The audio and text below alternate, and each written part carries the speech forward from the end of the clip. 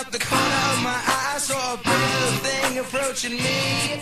She said, I never seen a man who looks so all alone. Could you use a little company? But if you pay the right price, your evening will be nice and you can go and send me on my way. I said, you're such a sweet young thing, why you do this to yourself? She looked at me and then